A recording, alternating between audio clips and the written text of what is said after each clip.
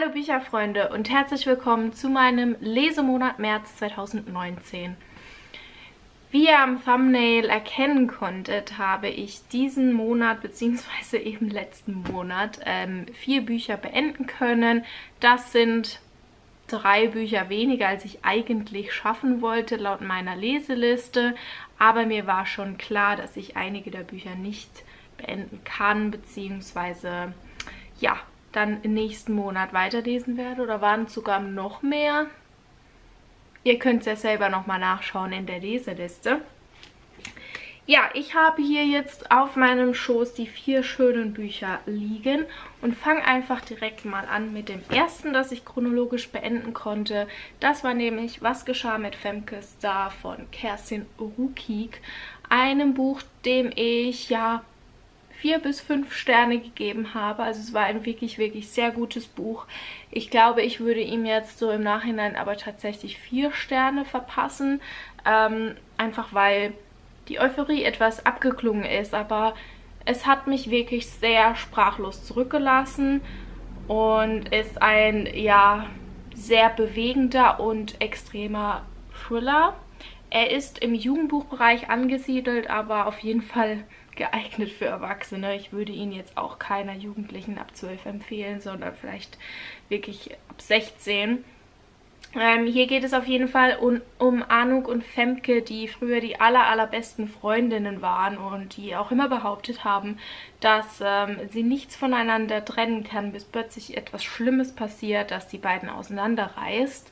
Und ähm, Anouk entwickelt sich so ein bisschen in die Punk-Gothic-Richtung. Also sie zieht sich komplett schwarz an, ist sehr rebellisch und ja, lässt ihre negative Meinung auch stark aus. Und ähm, dadurch, dass Femke als Schlampe abgestempelt wird und ähm, das sehr in der Schule rumgeht, dass sie halt anscheinend Gerüchte äh, mäßig viel mit Jungs zu tun hat, auf die andere Art und Weise. Und ähm, ja, da macht natürlich dann Arnuk dadurch, dass Femke sie durch was auch immer, das erfährt man erst sehr viel später im Buch, äh, stark verletzt hat, macht sie damit und äh, verbreitet selbst auch starke Gerüchte über Femke.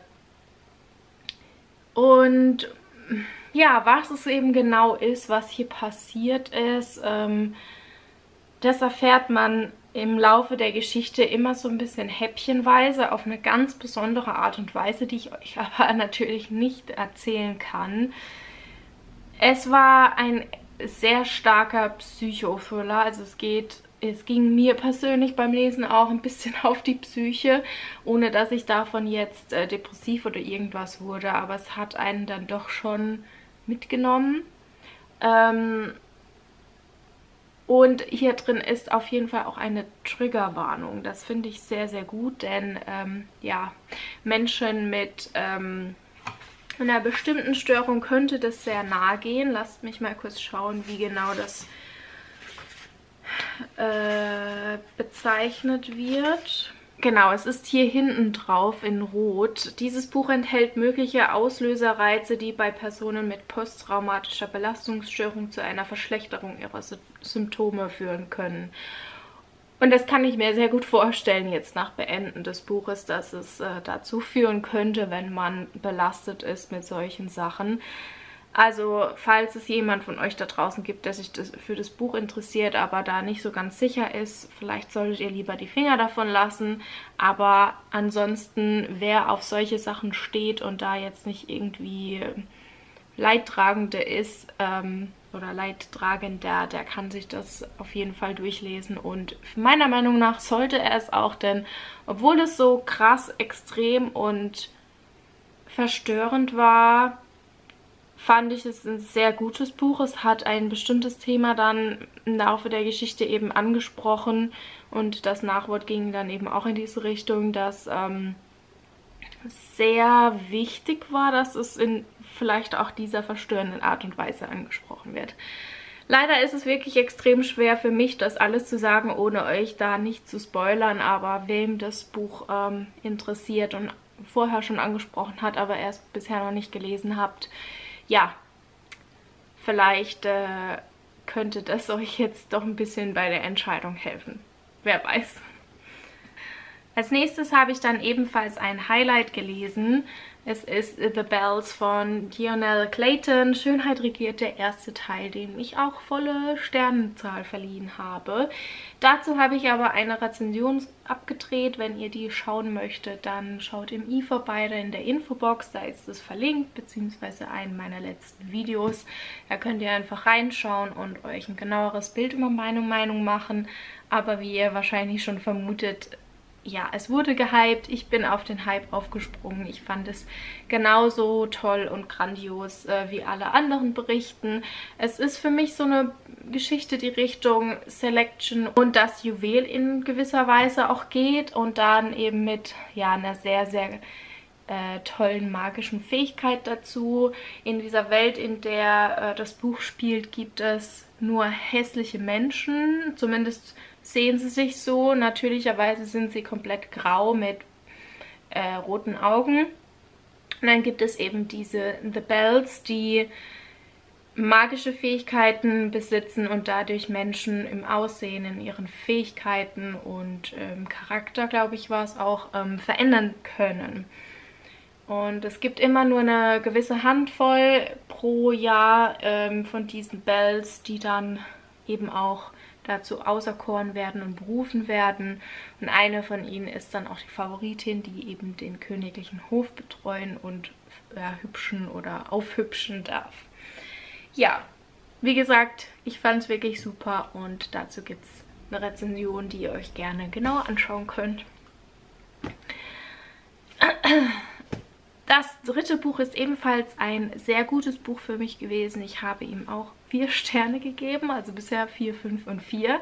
Eine sehr, sehr gute Auswahl an Büchern. Ich habe mein allererstes Buch von Lucinda Riley gelesen, Das Mädchen auf den Klippen. Ja, dieses Buch habe ich um den 17. März rum gelesen. Wir haben montags begonnen, also ich habe es zusammen mit der lieben Bücherpanther gelesen. Ihren Kanal findet ihr ebenfalls in der Infobox verlinkt, wenn ich es nicht vergesse.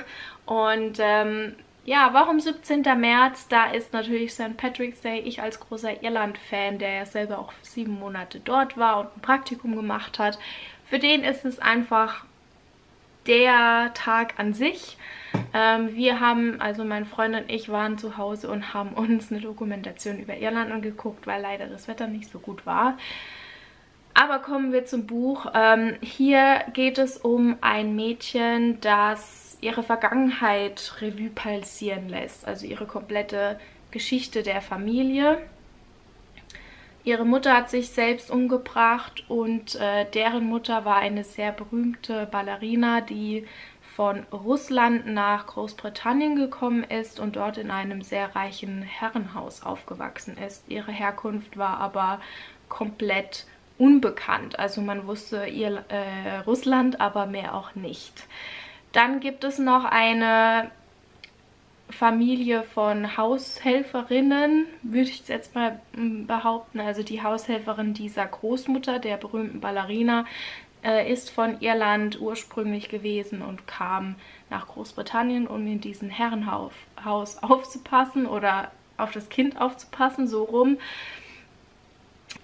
Der Hintergrund ist nämlich folgender, dass ähm, der Besitzer oder der Bewohner dieses Herrenhauses in Großbritannien einen Bruder hat, der ebenfalls in einem großen Herrenhaus in Irland im Corker Bereich, also in der Nähe von Cork, ähm, lebt in diesem Haus. Und diese Helferin soll dann eben von dem irischen Herrenhaus zum britischen und so ist die Geschichte da sehr verstrickt. Es hat dann auch noch eine, einen kleinen Strang in Amerika, das ist so die momentane Geschichte, in der dann die Urenkelin, glaube ich, dieser ursprünglichen Haushelferin auch nochmal ihre Geschichte erzählt. Und so verstrickt sich das alles miteinander. Es ist äh, eine sehr bewegende Geschichte. Ich mag solche äh, Geschichten auch sehr gerne, wo man die Vergangenheit erfährt und es auch viele Geheimnisse in den Familien gibt, die zu ähm, ergründen es gilt und